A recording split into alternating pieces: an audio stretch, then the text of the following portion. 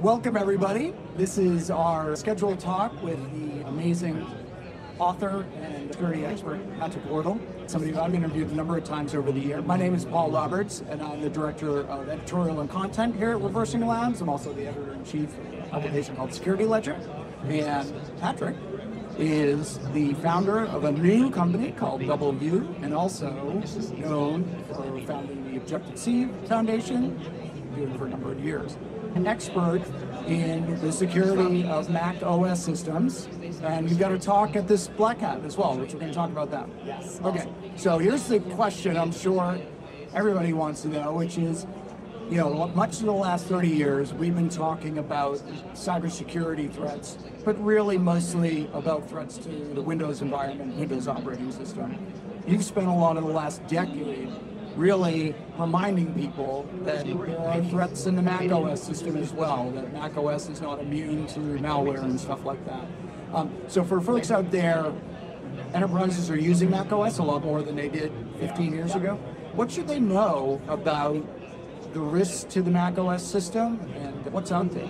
Yeah, first of all, thanks for having me and thank you all for attending. Appreciate that. So to talk nerdy about Mac OS security threats. I have been doing this longer than a decade. Maybe I'm dating myself, but it was interesting when I started. The short story was I was working for the government doing Windows reverse engineering and exploitation. When I left, I wanted to use those same foundational skills, but without stepping on anybody's toes, so I decided to take a look at Mac OS. And there's an analogy that another security researcher articulated well, and he said that at the time that Windows was like that house in the sketchy neighborhood in the inner city that had bars on the window and a dog and an alarm, but was still getting poked on and broken into. Whereas Mac was really the cottage out in the idyllic countryside that the back door was left ajar, but no one was really bothering that. That was 10 plus years ago. Now what we're having is suburban sprawl, let's just say, where that idyllic cottage is really maybe not as secure as it once was, because adversaries are, for better or worse, incredibly opportunistic. So as soon as we see an uptick in the macOS adoption, follows almost in lockstep that hackers, malware writers are going to start pay, paying more attention to that. And this is backed up by some data. Each year I look at the new threats that target macOS. And a year or two ago, over 50% of those new threats actually already existed on other platforms, meaning that the adversaries basically said, hey, wait a minute, we, we have some ransomware that works at Windows, or we have a backdoor or a stealer that works well on, on Linux. Why don't we port it to Mac OS? And that's exactly what they did, either rewriting it with cross-platform frameworks, uh, or in some cases rewriting it from scratch, but with the same logical capabilities that was also able to talk to their existing back-end infrastructure. From an efficiency, point of view, no-brainer. And just to get back to the question of the enterprise, yeah, we're seeing Macs, especially in the US, but internationally as well, really become ever more prolific, especially in the context of the enterprise. And as I mentioned, in lockstep, we're almost seeing the sophistication and the prevalence of attacks targeting Mac OS uh, just continue to rise, and we will continue to see that. I think the understanding of why Windows versus Mac was always you, you fish where the fish are.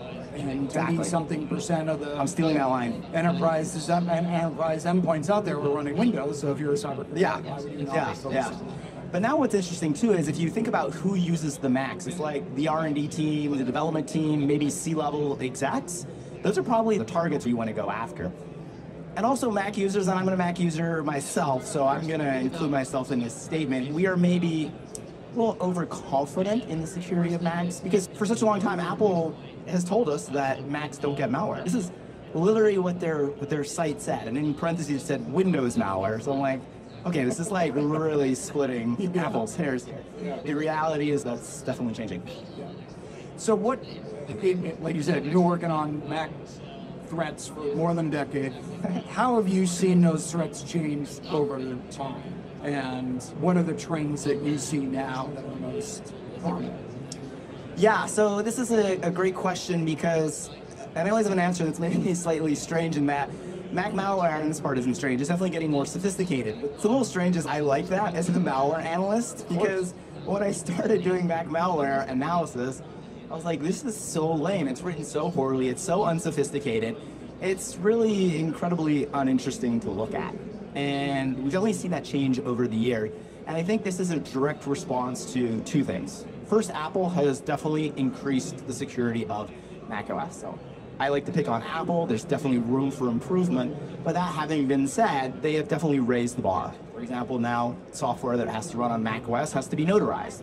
If you want to access the webcam or the microphone, you have to go through an authorization prompt. So what this is forcing the adversaries to do is evolve, use zero days in their malware, try to trick the user, maybe up the social engineering attack. And then in parallel, we're also seeing the sophistication of attacks that are detected because I think the security tools are getting better. Back when I started, no one was even really running security tools on Mac, and the security tools that were there were I don't know how to say this nicely, they sucked. and that was one of the reasons I started creating the Objective-See tools is because I wanted some software to protect my Macs and then figure sharing is caring. Answer your question, the sophistication of the attacks is definitely increasing. We're seeing nation states going after iOS malware, and a lot of times when these iOS implants are detected, if we look at the code, we can see that there's a Mac OS implant or capability uh, uh, as, as well. I can confidently say that any nation state is going to have incredibly sophisticated Mac capabilities. We haven't seen a lot of it yet, but I think that's again because our detection isn't maybe quite what it can be yet, especially when compared to Windows. Yeah. So you're doing a talk at this show, and the topic is really interesting, which is mining macOS crash data, crash reports for evidence of compromise or malware. And I think you've all, if you're a Mac user, we've all stared at those crash logs and been like, wow, I wonder if there's anything interesting in here that I should be noticing. If you're not highly technical, it'd be really hard to find it. Um, but, uh, tell us what is in those crash logs that might be uh, useful for a company to pay attention to. Yeah, definitely. First, you're all invited. Hope to see you at the talk tomorrow. It's 40 minutes, so we'll really get into some neat internals. My favorite part is we're going to walk through some actual crashes that revealed some super interesting bugs that revealed all sorts of exploitable vulnerabilities, and malware. And my goal of the talk is really to inspire people to take a closer look at crash reports because most of us probably look at crash reports with some disdain, right? They're generated when an application or program are using crashes, which for us is super annoying. But as Paul mentioned, there's actually a lot of really good data in this, and other vendors have been ingesting this. Microsoft, for example, has been analyzing crash reports for years, looking for malware, and the main reason is malware is often not written as well as, say, software from the operating system vendor, which means it crashes a little bit more. Malware also is always pushing the envelope. They might be using private APIs, they might be trying to hide, do funky stuff. So you're always on the edge, and so if the operating system is updated or something goes a little bit wrong, the malware might crash, which generates a crash report. And so in the talk tomorrow, we also go into how crash reports can reveal really interesting bugs, zero days in Mac OS, for example. But malware, if it's crashing, gives us a great kind of uh, signpost or trail that something's amiss if we look at the crash report. So in the crash report, we can see obviously what process crashed, but also why in the context of malware analysis, something, the fact that something crashed, we can take a close look at that and say, is this an unauthorized process or something we didn't uh, expect? So kind of an interesting topic that traditionally has been looked at for how do we fix bugs when software crashes, but I think there's uh, a lot broader, uh, more breadth that we can pull out from that. And all the details tomorrow. And yeah, so check out I'm gonna give away all the secrets. Um, do we know if Apple is mining those crash reports for new threats, novel malware, other stuff, vulnerabilities? Because compared to Microsoft, I'd say they're a little less transparent on the security. Little less? front. little less. A lot less. Uh, I they appreciate were, your they were kind of well. late. They were late to the bug bounty thing Sorry. compared to Yeah. Microsoft. They've gotten into trouble or gotten flack for blowing off security researchers and being like talk to the hand. So, what do we know about whether they use this stuff and are Sure. they transparent in any way about what they're finding? Yeah, that's a good question. And I like that you touched on the fact that Apple isn't perhaps as transparent as they could be. I think it's just a cultural mindset there that it's like Apple versus the world. And even though we're on the same side, meaning our goal is to increase the security of the operating system so that end users are ultimately more protected, Apple doesn't quite see it that way or doesn't embrace it. And so, yeah, a lot of the information is one way, right? Security researchers reporting bugs and new malware to Apple. Apple does not go the other way. I mean, they detect a lot of new malware, but they're not sharing signatures with third-party ID companies, which I think they should. Would that be helpful? That would be very helpful because Apple, when they push out signatures for their XProtect product, it's only for a few samples. Widespread, sure, but a lot of times their signatures are somewhat brittle, not really behavior based. And so if the malware author recompiles their malware or changes a little bit about it, it's going to bypass Apple's signatures. Whereas third party security companies often have maybe more comprehensive signatures. And I just think sharing is caring, right? You talk to anybody in security, they say it's very important for information to be shared with relevant parties. To answer your question, I'm actually not sure. Microsoft is very fairly public about describing why they do this. They talk about case studies, and it's like, please, I will give you my crashing words. Apple, on the other hand, we have no idea. I would hope they do. Uh, they come to my talk, which they will, because there's some zero days that we will be revealing. and um, Spot the apple. No more spot the Fed. Spot the apple. He's a person scowling at me. uh, but I would imagine that if they're not, they definitely should be. And also, I hope they're more transparent. Let's just say. The other thing, though, I will caveat that compared to Windows, crash reports on macOS have less information. Apple is very privacy centric, which I very appreciate. And it might be a little tougher to find, to analyze or parse those. But I think Apple should still be ingesting them and looking for malware or stale exploitation attempts. If the memory corruption vulnerability fails, what's it going to generate? Crash report. There's been many examples of how previously unknown zero days and very sophisticated malware has been detected in this way. So I would imagine Apple is. I would also love for them to tell us about this, but I guess when hell freezing over pigs fly, whatever the, the statement is. Use your analogy. Okay, final question. You've run Objective C for a long time, and like you said, sharing is caring. So much of that work you just gave to the public domain and just to help people out.